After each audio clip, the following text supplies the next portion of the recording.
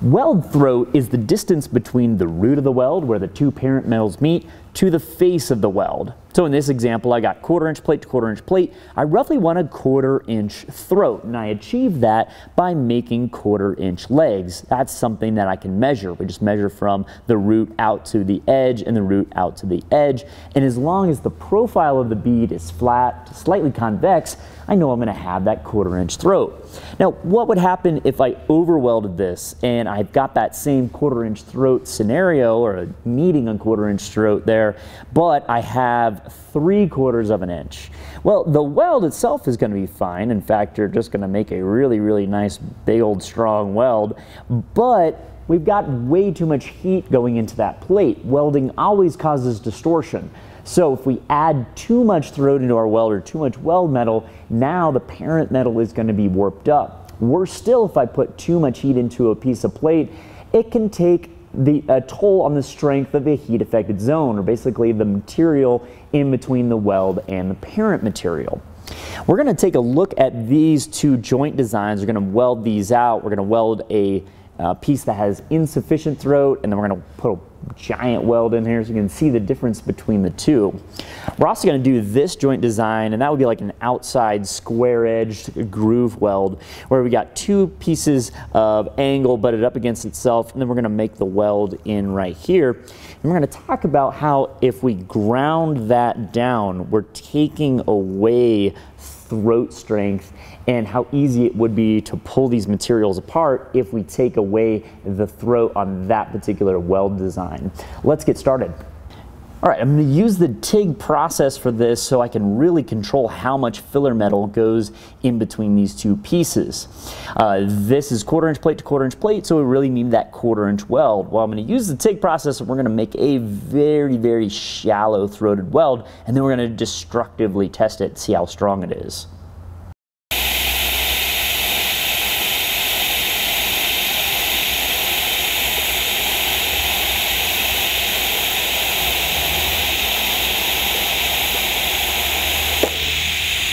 This is the inside corner joint on quarter inch plate, but without enough throat.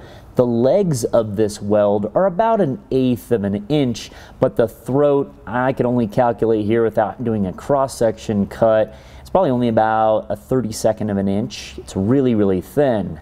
Now something to note on this weld, it's hard to see in the camera, but there is a hairline crack down the face of the weld, or right in the middle of the weld.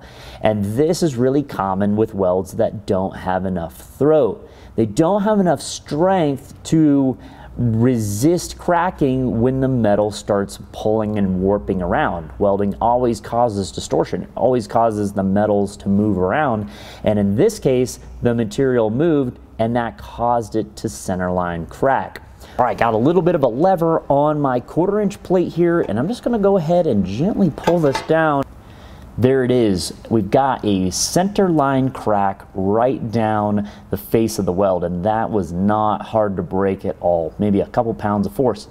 This really shows the power of the throat of the weld. If I had sufficient throat, there is no way that I could do that by hand. Now, of course, this is an extreme example. We did a, an autogenous TIG weld, so we added no filler metal here, but I really wanted to show the power of the, the a proper throat in your weld. Here's that seam weld, that inside corner joint. This time I added some filler metal. And as you can see here on our fillet weld gauge is that we're right at that quarter inch leg size, but it's still a little bit concaved. But that's okay. I'm really looking for about a 3 16 inch throat. The big benefit of adding filler metal and adding more throat in this inside corner is that with the filler metal, I'm to add strength roughly double the strength of the parent material that it's on, about 70,000 tensile here. So there's just no way I could take that lever and just pull this weld apart. But these little gauge sets right here can help you determine if your weld has sufficient leg size and throat size. So we, again, we're a little shy here. I could just add another pass, uh, but in my case, I know for the scope of work or what I'm doing with this weld, it's gonna be plenty of strong. Let's transition into making a weld that's too big. All right, here's that inside corner joint with just way, way, way too much throat.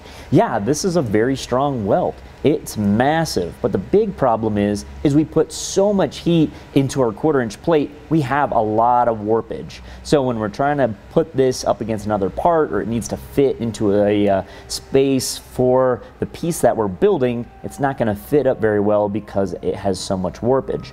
The other problem that happens when we put too much weld in is that in the heat affected zone or the space between the weld and the parent material, we get large grain growth. So the grains of the steel get very large and it's easy for them to slip or dislocate against the weld or the parent material that's not affected, causing a weak point right here in the toe.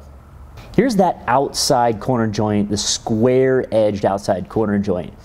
And where I see a lot of problems with this weld is that the welder will make a nice weld all the way across. It'll have sufficient throat, so it'll be coming off of this plate about an eighth of an inch. So we got to remember that that plus the penetration that the, the arc gets into the parent material, that gives us our throat. We're looking again for about a 3 16 inch throat here.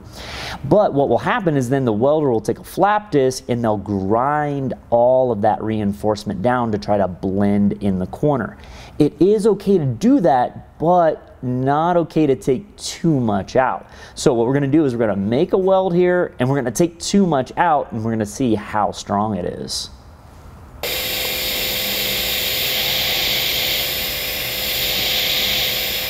Now what I did here was I took a flap disc and I blended all that weld in the side. It looks really cool. It looks like the edge was just formed that way, but I'm here to tell you I've probably taken out almost all the strength.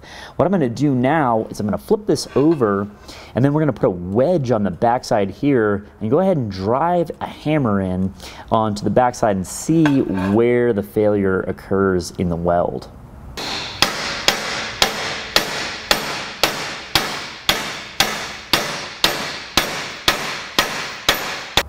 Here's the result of a couple smacks with that wedge. You can see how much we've pulled the two pieces of material out, and that's not a, a, lot of force. I've got a wedge and about a two pound sledgehammer, really not a lot, but what we wanna see here is this little crease coming down the middle of our weld. This is indicating that we're having yielding going on right at the center of the weld, not what would happen if we would have left the throat on and hadn't ground the weld down.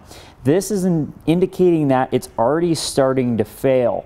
And that's not a lot of force. We would take a lot more force if we had left that throat on there.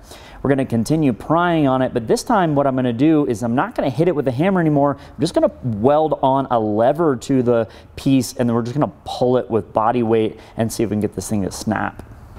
Okay, welded my little extension on here and now just leaning on this. We're gonna see if we can get it to break the whole way. Here we go. And nothing. Like nothing, just came right off. Let's take a look at this throat. Here's a cross section of that outside corner joint and you can see here that little part right there, that was the weld. I've got a 1 16th inch rod here so you can see that the depth of penetration was about a 16th and that's just not enough and that well broke really easily as you saw. Now, if I wanted to do this properly and I wanted to blend the outside with a grinding disc, what you need to do is you need to bevel the parent material before you start welding. Beveling means you're cutting into the parent material at an angle so you can mechanically get that depth of penetration. Then you fill it up with the weld and then you can grind down the outside but still maintain that proper throat. Thank you for watching. Really appreciate it. Hope you learned something today. If you're interested in training with General Air, check out the link in the description below.